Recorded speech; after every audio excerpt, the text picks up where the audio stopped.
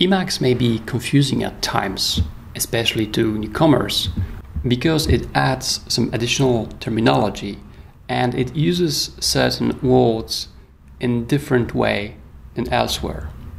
Certain concepts available in Emacs may mean something different that they usually do in some other places or in some other applications. In this episode, I will try to clarify that. But before we start, let's first do something funny and let's try to define Emacs. What is Emacs? You may think of Emacs as of a text editor, which is certainly true. But I would like to propose another definition. Let's define Emacs as a programmable, text oriented user interface. Emacs is a user interface, a text oriented interface which can be customized through programming because it not necessarily allows you to deal with files, but you can do other things, other actions which are not file related. To understand that, let's start with a first definition. In Emacs, there is this concept of a buffer, and buffer is a, a named virtual place which can hold content, which can hold data. The important thing is that a buffer may be related to a file, but it doesn't have to be. So let's go ahead and let's open a project, one of the previous ones. And let's open a file, for example, core index.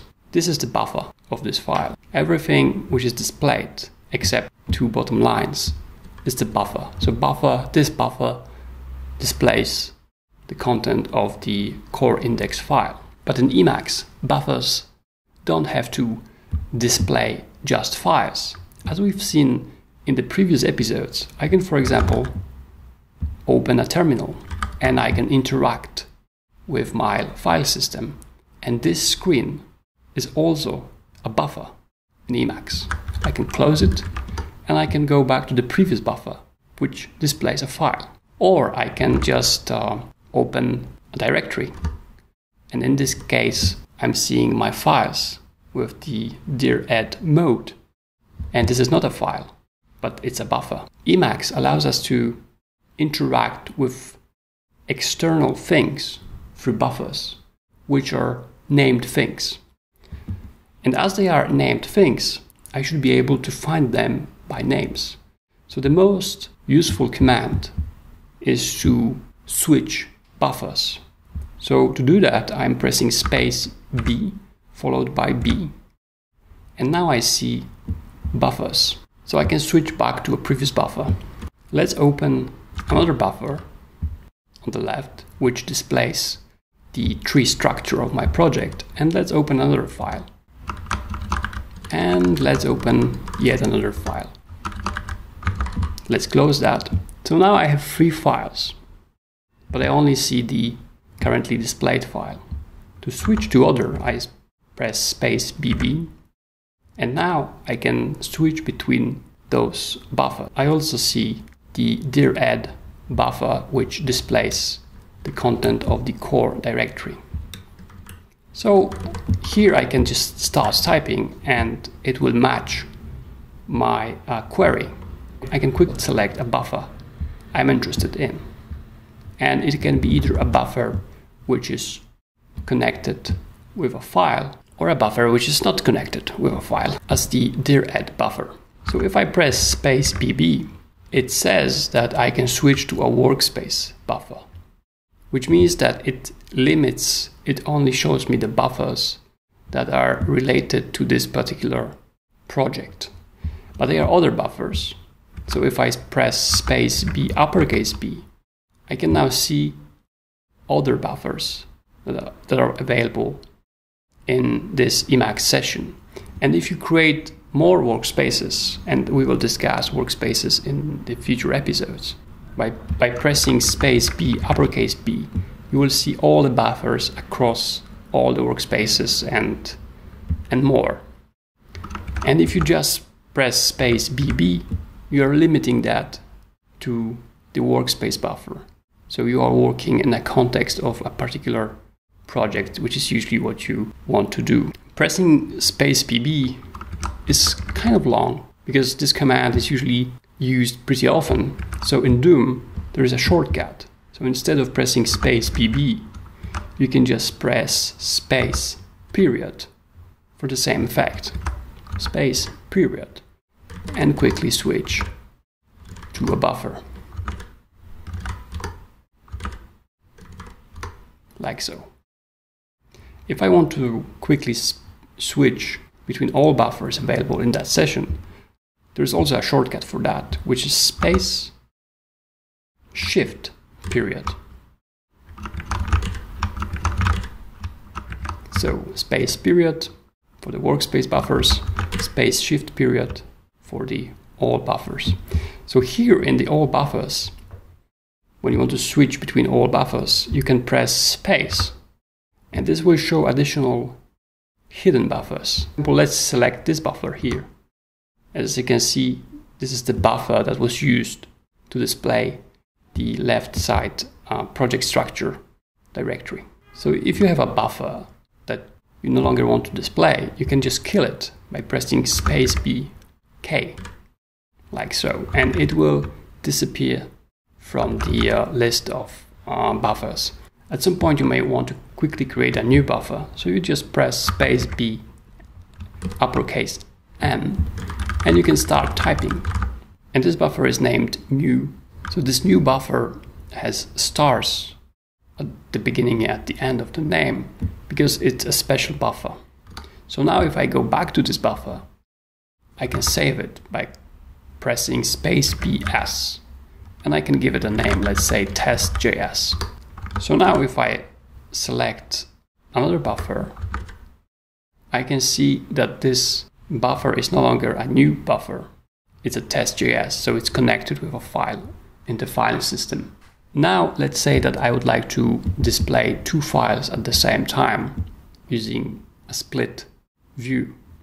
I can quickly do that in Emacs by pressing Ctrl W V. So I have now two windows. I can switch between them using Ctrl W W like so. Right now I'm in the right window so I can just press space period and I can select another buffer. I can split the window again vertically and let's say I want to display another file here. I can also split window horizontally by pressing Ctrl WS and let's say here I want to have a new buffer. So if I press Ctrl W W, it will go through all the buffers in a certain order. But if you use the VI movement keys, which is H, J, K, L, you can control how you move between those windows. So if I press Ctrl W, J, I will go down. And if I press Ctrl W, K, I will go up. Down and up, down and up. Now if I press Ctrl W H, I will go left and again left. And then L, Ctrl W L to go right and right. So this way you can quickly move between windows. So now it's a good time to define a window because in Emacs, window is a section of your screen. So window doesn't mean the same thing as in the context of an operating system.